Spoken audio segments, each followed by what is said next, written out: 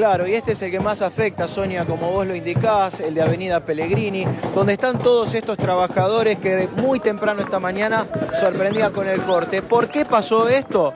Porque el sábado hubo una reunión por Zoom en donde no hubo ningún tipo de adelanto, no hubo ningún tipo de modificación a la situación por la que estaban atravesando estos trabajadores. Está César Aybar con nosotros.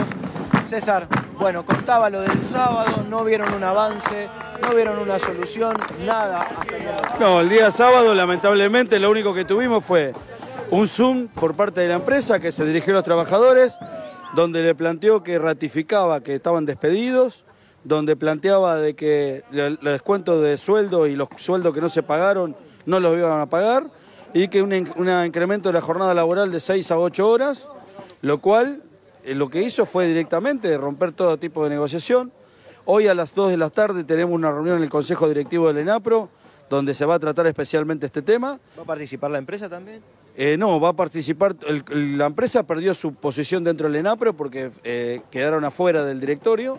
Y nosotros lo que planteamos es claramente, acá la situación no da para más. Hay 600 familias en la calle, lo que hizo la empresa lo hizo adrede, esto claramente es una cuestión, una presión política que le está ejerciendo el gobierno provincial el gobierno nacional, porque lo que está claramente quieren pedir 50 años más de concesión, pero lamentablemente hoy todos sabemos, el puerto está destruido, la gente en la calle y esta situación no da para más. ¿En qué puede derivar este conflicto? Digo, hoy es 2 de la tarde, después puede endurecerse la medida. Nosotros ya no nos queda más alternativa que seguir peleando. Son 600 compañeros que no tienen para comer hoy. Hoy estamos todos en la calle. Esta es la grave de la situación. Y hoy sumarle el agravante de que hoy casi una persona armada vino, se acercó hasta donde estaban los compañeros y le disparó directamente al cuerpo. Hoy no tuvimos un muerto por gracia de Dios, por la obra y gracia de Dios. persona que se enoja con el corte? Hay no sabemos, no sabemos porque no hubo ningún tipo de altercado, se acercó y disparó.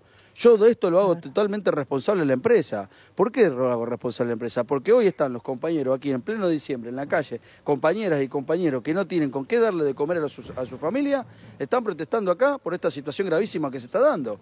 Y esta violencia que se generó fue generada por la empresa, porque no podemos, nosotros no tendríamos que estar acá. Hemos acompañado en numerosas ocasiones a la empresa poniendo el esfuerzo terrible para sacar adelante el trabajo. Durante la pandemia trabajamos 24/7 los insumos que se usaron, los insumos médicos fueron transportados por estos compañeros.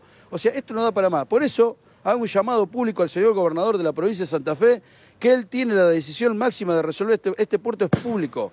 Este, público, este puerto de todos los santafesinos. Y en estas condiciones, como lo tiene Vicentín, no puede seguir. Por eso tiene que tomar una decisión urgente para ver cómo seguimos con este puerto, porque es un servicio público y lo tiene que garantizar. Y la decisión que toma el gobernador, los trabajadores lo vamos a acompañar, si ya en las condiciones que estamos no podemos seguir.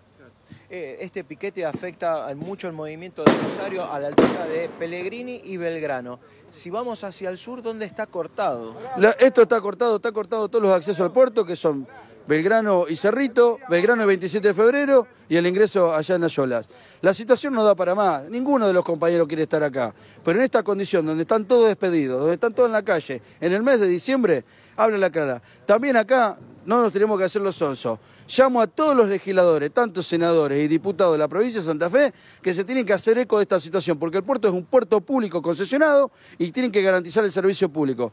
No puede ser que nosotros estemos hoy, 21 de acá, diciembre del año 2022, con un puerto totalmente parado por decisión de la empresa y con la gente en la calle y nadie haga nada.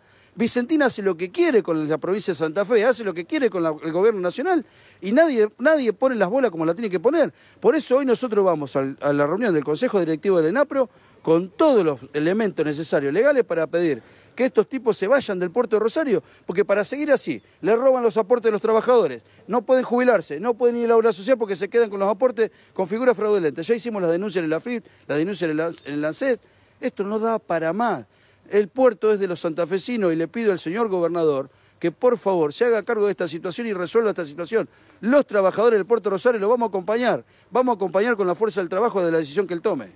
Hoy por hoy eh, esto sigue así, más allá de la reunión y lo que pase la tarde, volverán a hacer una asamblea, ¿cómo lo están Nosotros vamos a tener una reunión a las 2 de la tarde en el ENAPRO, donde participamos como, consejo como integrante del Consejo Directivo y las medidas de fuerza se van seguir incrementando porque no nos queda otra alternativa. Estamos en la calle, sin sueldo y le tenemos que dar de comer a nuestra familia. Otra alternativa no nos queda, tenemos que pelear y vamos a pelear hasta las últimas consecuencias. No puede ser que el Grupo Ultramar y el grupo Vicentín hagan lo que quieran con los trabajadores, le roben a todo el mundo y no sufran las consecuencias. Necesitamos que esto se resolucione. La solución de este problema la tiene el gobernador en sus manos, porque el Eh, contrato César, de perdóname es que claro. interrumpa con esto, quiero, quiero, eh, no, hablábamos el miércoles o Sí. jueves, eh, vos hablabas del gobernador, Sí. hablabas de autoridades, Sí. ¿hubo algún llamado, alguna conexión, algo? O sea, ¿pasó algo de allá hasta hoy? Olvídate de la empresa. Nada, Nada. nada. Eh, Lo que sí surgió es una reunión de carácter de urgencia hoy en el ENAPRO, que es la autoridad máxima del puerto de Rosario, y vamos a ir con todas las buenas expectativas. Pero la- acá está claro, el contrato de concesión fue violado sistemáticamente por parte de la empresa. No hizo obra de infraestructura, no cumple con la ley de higiene y seguridad, no cumple, no cumple con las leyes laborales. Esas son, no paga el canon, pagan cuando se le canta el canon. Entonces, ¿qué más tenemos que esperar? ¿Qué más tenemos que esperar? Hoy podríamos haber tenido un muerto acá con ese loco que disparó contra los compañeros. Bueno, gracias César. eh. Sonia, vos sabés que quiero caminar hacia el lugar de donde esta persona... Acá están todos los trabajadores, como vos estás viendo. Bien. Esta es una... Bueno, todo el mundo conoce esta parte de la ciudad, ¿no? Es la rotonda de Avenida Pellegrini, Exacto. donde tomás, eh, bueno, vas para, para el sur o vas para el lado del Monumento Nacional a la Bandera.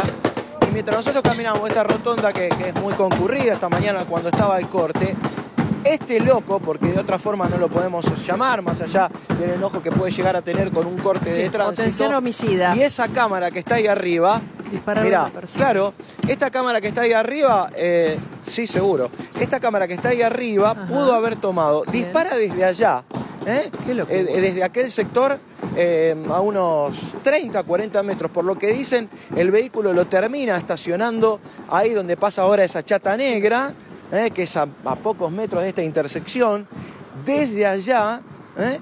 se para, se baja del auto. Algunos decían que había disparado al aire, pero no, lo que hace es directamente tirarle a los trabajadores que están ahora allí donde los estás viendo, es hacia allí donde este loco extrajo un arma de fuego y le disparó. Bueno, eh, no mató a alguien de casualidad. Las cámaras eh, deben haber tomado, como vos decís, y esto es de la central de la Municipalidad de Rosario, si no me equivoco, porque forman parte de estas nuevas cámaras ¿no? que se dispusieron eh, en todo este corredor y en toda la ciudad. Eh, tal vez allí haya quedado registrada la patente o la persona, ¿no? porque es gravísimo lo que ocurrió. A ver, en la semana pasada contábamos que una mujer se interpuso en el medio del piquete, tenía cortada eh, la, la arteria con ramas y empezó ella misma con sus propias manos a correrla, los trabajadores no, no se lo impidieron. ¿Qué ocurrió? Hay momentos de tensión, quienes vinimos esta mañana de hecho por este corredor tuvimos que desviar, no quedaba otra por Avenida del Rosario, porque la congestión ya por Pellegrini Sí. directamente era, era imposible. Atravesar toda zona sur, obviamente Ajá. que es un, es, es un viaje que se demora por Sí, lo menos sí. 25 minutos para llegar, digo, trae inconvenientes aparejados, pero de ahí a, a extraer un arma y amenazar o mucho menos disparar a, a los trabajadores, es gravísimo, Sonia. Leo, que ocurra eso, sí. Mira, te, te- te- eh, te escucho atentamente, pero te voy a mostrar esto. Le pido a Javi que se dé vuelta hacia el lugar del ataque, Javier. Mirá lo que están haciendo ahora los trabajadores. Buscando las vainas. Ah, A esta hora, después de que pasaron tantas horas, nadie vino a tomar eh, ningún tipo de pericias acá. Porque si son ellos los que la están buscando, esos tres trabajadores que vos ves ahí, están buscando algún rastro. Ahora. Nos vieron a nosotros que estamos trabajando acá Claro. y fueron a ver si encuentran Claro, este, vainas de la- del arma que, que atacó.